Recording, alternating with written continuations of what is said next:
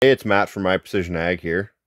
I just want to make a quick operational video on the Agtron Legend Advanced app.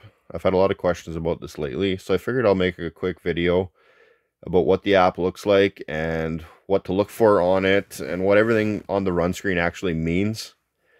So we're running in demo mode on the app right now, and this app is capable of running three air kits. So right now we've got air kit number one. This is our seed air kit in this example. It's got 60 seed sensors, 10, 10 sensors per manifold, and we got six manifolds. And then this middle bar is our fertilizer air kit. We got 60 sensors once again on six manifolds, 10 sensors per. If we had a triple shoot unit, we'd have another uh, another bar at the bottom, but this this system is only a double shoot system. So every one of these rectangles is a sensor. They're all green right now, so there's no plugs. Everything's seeding great. It's happy. If you did have a plugged run, one of them would turn red. It would look like that, and then you'd get a red alarm at the bottom saying, hey, this is plugged. And it'll give you the sensor number, and then you can go back and check and see if your run's plugged and clean it out. These numbers that are above each manifold, that's your flow variance per section. So if one of those numbers is way out from the other one, so say if one all of a sudden said minus 20%, that sensor's get or that section is getting 20% less product than the other ones. So you should check like say maybe you got a primary hose that has a hole in it or the hose popped off partially or something on the tank is plugged off for that run and you'll know to go check that. And you'll catch a lot of stuff that happens fairly quickly just off that number alone. If you tap on one of the manifolds so in this we'll just tap on this section here it brings you into this page and it shows the flow variance per sensor individually. So these numbers should still read fairly close around zero just to show that you're getting even distribution across each tower individually as well.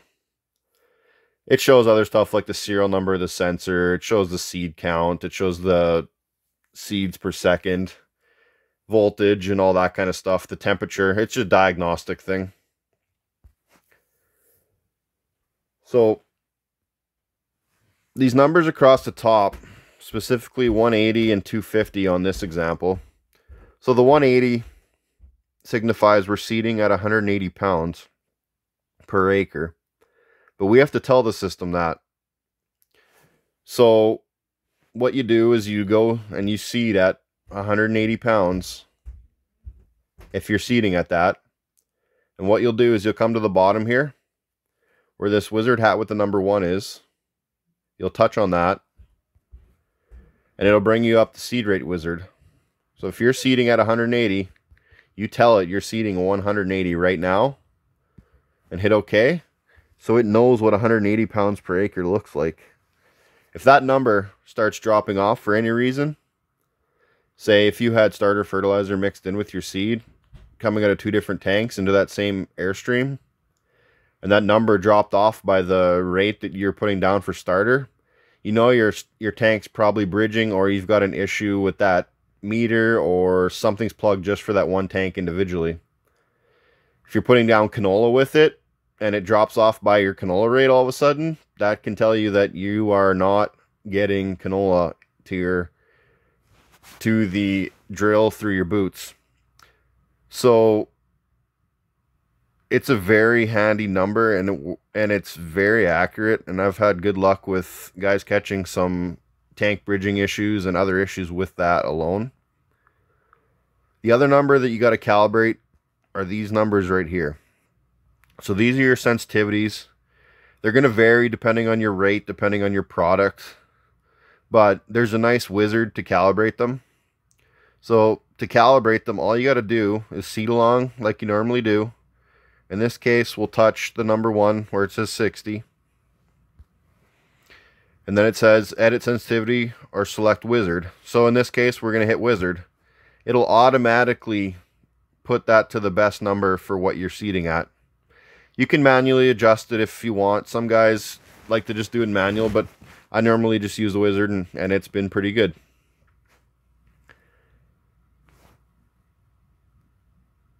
So another thing, if you're going to only seed, say you just want to put down seed with no fertilizer, and you're not going to use one of your air kits, well, if you ran it like this, the way it is right now, this entire air kit would think it's plugged because you're not seeding with it. So the way to disable that, all you got to do is where the sensitivity is for the second air kit, you'll touch on that 60. If you set that number to zero and hit update, that air kit disappears. So it's not looking for any of those sensors anymore. It's just looking at the seed sensors. So if you're doing something like peas, for example, and you're just putting down seed, then you can go seed away and it's not going to alarm you saying, hey, all your fertilizer runs are plugged. And then when you get back to putting down fertilizer again, you'll come back where now it says off. You'll touch on that. As long as this number that you put in here is above zero, it'll read. And if it's set for zero, it's off. I'll put it back to 60 like it was before though.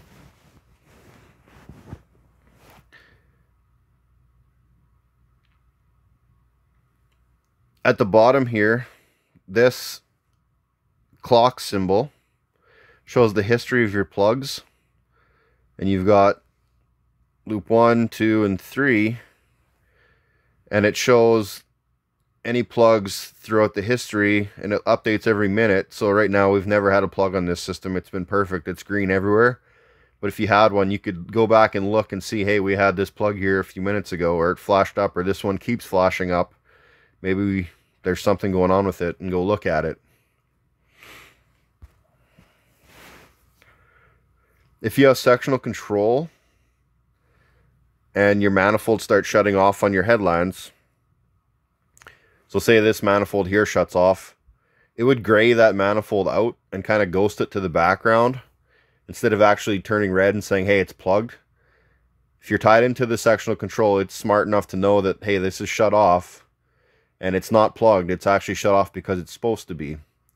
It's also a good tool to make sure that your sections are plumbed correctly for your sectional control. I've had customers catch this before where, hey, number one is saying it's off, but number six over here is the one that is graying out. So they're plumb backwards. So they, I've had guys catch that and it saved a lot of headaches. As far as operation goes, that's really all there is to it. On the bottom, this here, for example, if you go to that, if you you can actually have pressure sensors installed with this kit.